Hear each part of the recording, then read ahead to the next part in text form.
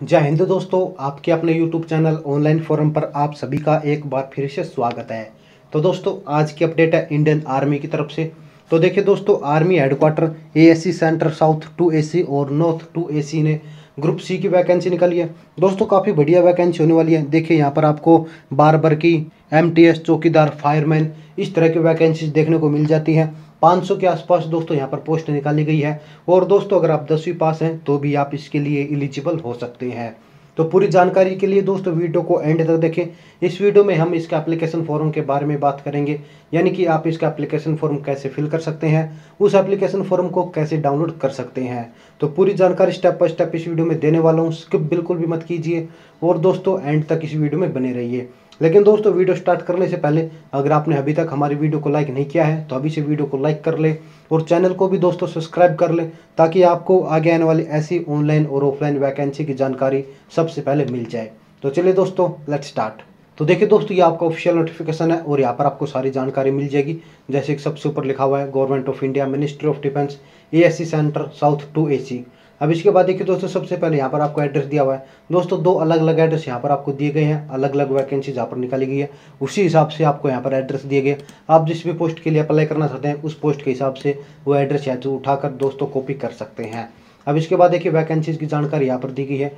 आपको यहाँ पर कुक की एमटीएस यानी कि चौकीदार की टिम स्मिथ की ई मेल कैंडिडेट्स के लिए बारबर की और कैंप गार्ड की माली गार्डनर मैसेंजर की वैकेंसी दिखाई जाती है। तो दोस्तों, जैसे कि हम बात करते हैं सबसे पहले तो देखिए दोस्तों, यहाँ पर जो पहला जो पोर्शन है, इसमें दो सौ नौ वैकेंसीज निकाली गई हैं। और दोस्तों, दूसरा जो एएससी नॉर्थ की बात करते हैं, यानी कि एएससी सेंटर नॉर्थ की बात करते हैं तो यहाँ पर भी आपको फायरमैन की ड्राइवर की क्लीनर की वैकेंसी देखने को मिल जाती है, जो कि टू फोर नाइन यानी कि दो सौ उनचास वैकेंसी यहाँ पर निकाली गई है। सभी वैकेंसी का ब्रेकअप भी यहाँ पर दिया हुआ है नंबर ऑफ़ पोस्ट के साथ आपका पे स्केल भी दिया हुआ है। और दोस्तों, अधिक जानकारी के लिए आप वीडियो को पोज करके या फिर दोस्तों डिस्क्रिप्शन में दिए गए लिंक से इसका नोटिफिकेशन डाउनलोड करके ले सकते हैं। आगे चलकर देखिए दोस्तों, यहाँ पर आपको और भी ज़्यादा जानकारी मिल जाएगी। देखिए, यहाँ पर आपको अलग अलग वैकेंसी का ब्रेकअप दिया हुआ है अलग अलग नेम ऑफ़ स्टेशन के हिसाब से।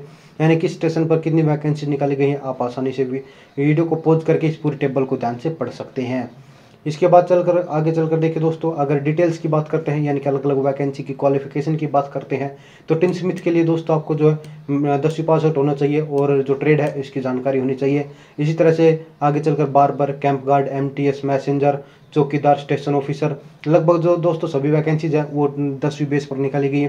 हालाँकि दोस्तों मैं आपको बता दूँ, एक वैकेंसी जो है, जो कि स्टेशन ऑफिसर की है, ये दोस्तों ट्वेल्थ बेस पर रहेगी, यानी कि अगर आपने ट्वेल्थ पास आउट है, आपने बारहवीं कर रखी है तो ही आप इसके लिए एलिजिबल हो सकते हैं। बाकी लगभग सभी जो वैकेंसी दोस्तों दसवीं बेस पर ही निकाली गई है। इसके बाद अगर फायर इंजन ड्राइवर की बात करते हैं तो यहाँ पर मैं आपको बता दूँ, यहाँ पर आपका जो फ़िज़िकल टेस्ट भी होगा फ़िज़िकल टेस्ट की जानकारी आपको यहाँ पर दी गई है। आप आसानी से वीडियो को पोज कर पढ़ सकते हैं। अब इसके बाद आगे चलकर देखिए दोस्तों एज की बात करते हैं तो दोस्तों आपकी जो उम्र है, वो 18 साल से लेकर 25 साल के बीच में होनी चाहिए। लेकिन अगर आप ड्राइवर के लिए अप्लाई करते हैं सिविलियन मोटर ड्राइवर यानी सीएमडी के लिए अप्लाई करते हैं तो आपकी उम्र जो है अठारह साल से लेकर सत्ताईस साल के बीच में होनी चाहिए। अगर आप रिज़र्व कैटेगरी से बिलोंग करते हैं तो उसका भी आपको बेनिफिट दिया जाएगा। और दोस्तों, अगर लास्ट डेट की बात करते हैं तो 16 जुलाई जो है, इसकी लास्ट डेट रहेगी। 16 जुलाई को शाम पाँच बजे से पहले आपका जो एप्लीकेशन लेटर है, वो डिपार्टमेंट के पास पहुँच जाना चाहिए। अब इसके बाद आगे चलकर देखिए स्कीम ऑफ़ एग्ज़ाम की बात करते हैं यहाँ पर आपका जो एग्ज़ाम है, वो चार पार्ट्स में होगा। जर्नल इंटेलिजेंस इसके बाद awareness English numerical aptitude total जो दोस्तों, आपसे डेढ़ सौ क्वेश्चन पूछे जाएँगे, यानी कि वन फिफ्टी जो क्वेश्चन पूछे जाएँगे। वन फिफ्टी मार्क्स के होंगे टाइम ड्यूरेशन दोस्तों, दो घंटे का रहेगा। आपका जो एग्ज़ाम है दोस्तों ट्वेल्थ बेस पर रहेगा negative marking point two five की रहेगी। इसके बाद देखिए दोस्तों, यहाँ पर आपका सिलेबस दिया हुआ है general intelligence reasoning general awareness English और नुमेरिकल एप्टीट्यूड का सिलेबस यहाँ पर दिया हुआ है। आपका सिलेबस जैसा कि मैंने बताया, दसवीं बेस पर रहेगा तो आप यहाँ पर अपना सिलेबस भी देख सकते हैं। साथ ही दोस्तों, यहाँ पर देखिए आगे चलकर आपको बताया गया कुछ इंपॉर्टेंट कंस्ट्रक्शन यहाँ पर दिए गए हैं, जैसे कि आप अपना जो एप्लीकेशन लेटर है, उसका मेन इनवेलप होगा, उसके बाद application for the post of लिख के आप जिस पोस्ट के लिए अप्लाई करना चाहते हैं, उस पोस्ट का नाम यहाँ पर लिखेंगे।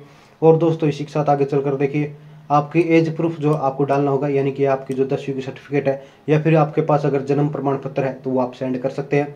आपको आने जाने के लिए कोई भी टी या फिर डी नहीं दिया जाएगा, यानी कि आपको अपने रिस्क पर ही आना जाना होगा। एड्रेस की बात दोस्तों, हम पहले कर चुके हैं। और दोस्तों, अगर आपके पास कोई एक्स्ट्रा क्वालिफिकेशन है हायर क्वालिफिकेशन है तो उसका कोई भी नंबर आपको नहीं दिया जाएगा।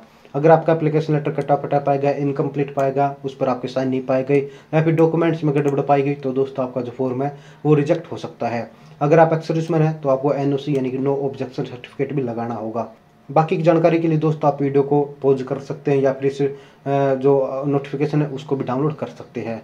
तो देखिए दोस्तों, अब इसके बाद इसका जो एप्लीकेशन फॉर्म है, वो कैसे फिल करना है, हम उसको भी एक बार देख लेते हैं। तो देखिए दोस्तों, ये इसका एप्लीकेशन फॉर्म है। हालाँकि दोस्तों एप्लीकेशन फॉर्म काफ़ी बड़ा है, लेकिन दोस्तों, आपको पूरा जो एप्लीकेशन फॉर्म है, वो फिल नहीं करना है, जैसे कि आगे चलकर आपको ये इनकम एंड एक्सेस सर्टिफिकेट देखने को मिलता है। तो अगर आप ई डब्ल्यू एस कैटेगरी से बिलोंग करते हैं तो ही आपको फिल करना है। तो दोस्तों, अगर आप income sorry E W category से बिलोंग करते हैं तो ये सर्टिफिकेट डाउनलोड करके आप इस डिपार्टमेंट के पास भेज सकते हैं, अपने एप्लीकेशन लेटर के साथ अटैच कर सकते हैं। अगर आप ई डब्ल्यू कैटेगरी से नहीं है तो ये जो एप्लीकेशन फॉर्म है सॉरी ये जो सर्टिफिकेट है, ये आपको सेंड नहीं करना है।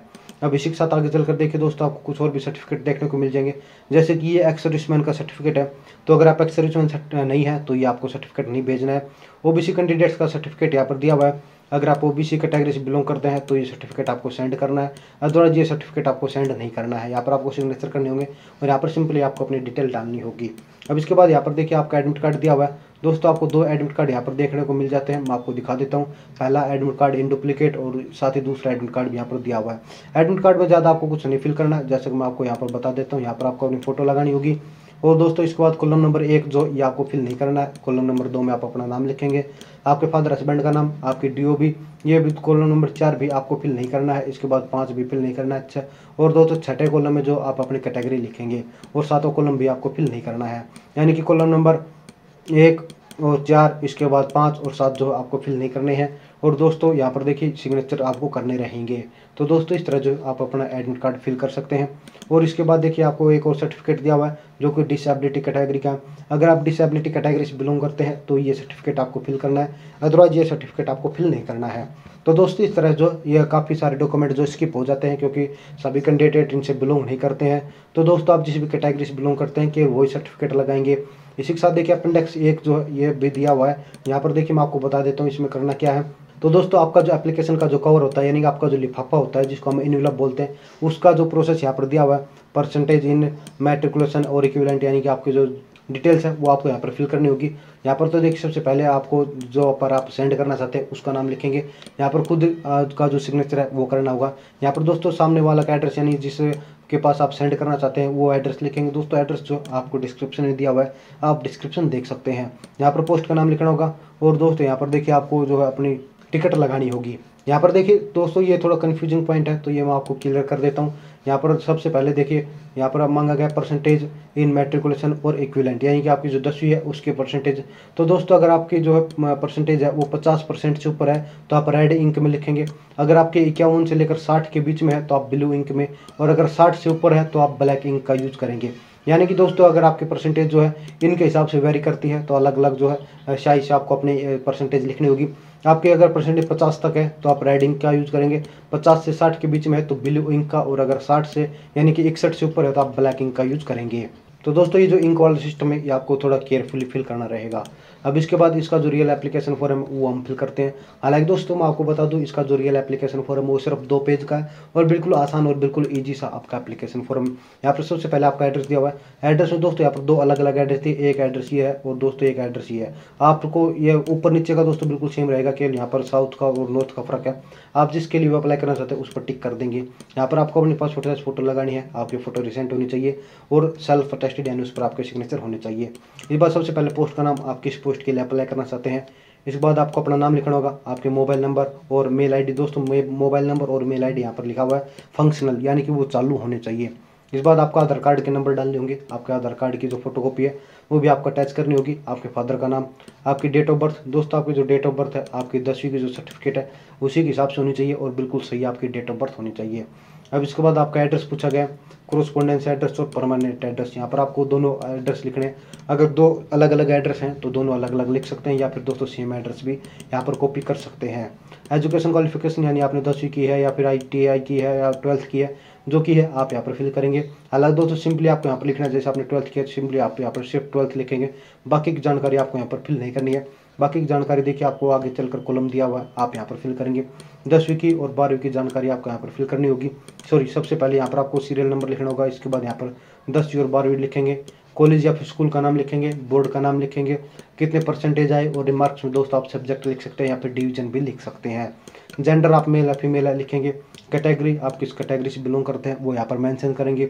अगर आप एक्सोरिज मैन है तो उसकी जानकारी आपको यहाँ पर फिल करनी होगी, आपके जो डॉक्यूमेंट्स हैं, यानी कि आपकी जो एनओसी है, आपके डिस्चार्ज बुक है, आपका पीपीओ बुक है, वो आपको अटैच करना होगा। इसके बाद कॉलम नंबर फिफ्टीन अगर आप पी एच कैंडिडेट यानी फ़िज़िकल हैंडीकैप कैंडिडेट हैं तो यहाँ पे फिल करेंगे। टाइप ऑफ़ डिसेबिलिटी लिखेंगे परसेंटेज लिखेंगे, और दोस्तों उसका जो सर्टिफिकेट है, वो अटैच करेंगे। सर्टिफिकेट दोस्तों हमने नीचे चलकर डिस्कस किया था, वही सर्टिफिकेट आपको अटैच करना होगा। अगर आपने एम्प्लॉयमेंट एक्सचेंज में रजिस्ट्रेशन करा रखा है तो उसके नंबर नाम लिखेंगे। और दोस्तों, अगर आप सेंट्रल गवर्नमेंट के एम्प्लॉय हैं तो आप यहाँ पर यस नो कर सकते हैं। साथ ही दोस्तों, मैं आपको बता दूँ, अगर आप यस करते हैं तो आपको यहाँ पर उसकी जानकारी भी फिल करनी होगी। नेम ऑफ़ एम्प्लॉयमेंट देखिए मैं आपको बता देता हूँ सबसे पहले। नेम ऑफ़ एम्प्लॉयमेंट, ऑफ़िस का, आपके ऑफ़िस का एड्रेस, आपकी पोस्ट का नाम और आपकी ज्वाइनिंग डेट आपको यहाँ पर डालनी होगी। अब इसके बाद देखिए नेम ऑफ़ स्टेशन यहाँ पर बताया गया। जैसे कि मैंने बताया था अलग अलग स्टेशन पर अलग अलग वैकेंसीज निकाली गई हैं। तो आपकी चॉइस के हिसाब से आपको यहाँ पर जो है अपने स्टेशन जो है प्रीफरेंस देनी होगी। यानी अगर आपका सिलेक्शन होता है तो आपकी पहली चॉइस क्या रहेगी। दोस्तों, आपके जो स्टेशन है, उनकी जानकारी आपको ऑफिशियल नोटिफिकेशन में मिल जाएगी। आप ऑफिशियल नोटिफिकेशन डाउनलोड करके उसके जो है आसानी से बारीकी से पढ़ सकते हैं। अब इसके बाद डिक्लेरेशन दी गई है आप डिक्लेरेशन पढ़ सकते हैं, यहाँ पर आपको सिग्नेचर करनी है, यहाँ पर डेट और प्लेस डालनी होगी। दोस्तों, यहाँ पर देखिए, दो सेल्फ अटेस्टेड फ़ोटो जो है आपको डालनी होगी। और दोस्तों, उस फ़ोटो पर आपका नाम और आपके फादर का नाम होना चाहिए बैक साइड पर। एक सेल्फ एड्रेस भी आपको डालना होगा।